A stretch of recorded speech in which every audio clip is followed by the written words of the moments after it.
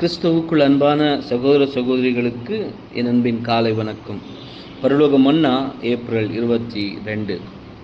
மனுஷர் பேசும் வீணான வார்த்தைகள் யாவையும் குறித்து நியாயத்தீர்ப்பு நாளிலே கணக்கொப்பிக்க வேண்டும் என்று உங்களுக்கு சொல்லுகிறேன். மற்ற பன்னிரெண்டு முப்பத்தி ஆறு ஒரு கிறிஸ்துவன் தன் அனுதின வாழ்க்கையில் ஒவ்வொரு நாளும் தன் ஜீவியத்தை பரிசோதித்து பார்த்து கடமைப்பட்டுள்ளான். தன் வழிகளில் தேவனுடைய நாமம் பரிசுத்த குலைச்சல் ஆகும்படி எதையும் பேசி செய் செய்திருப்பானாகில் தேவனுடைய கிருபாச தந்தையில் அவர்கள் கிட்டிச் சேர்த்து தங்கள் தேவனை அவமதித்ததை உணர்ந்து அவரிடம் தங்கள் பாவங்களை அறிக்கையிட்டு பரமபிதாவிடம் மன்னிப்பை தேட வேண்டும்.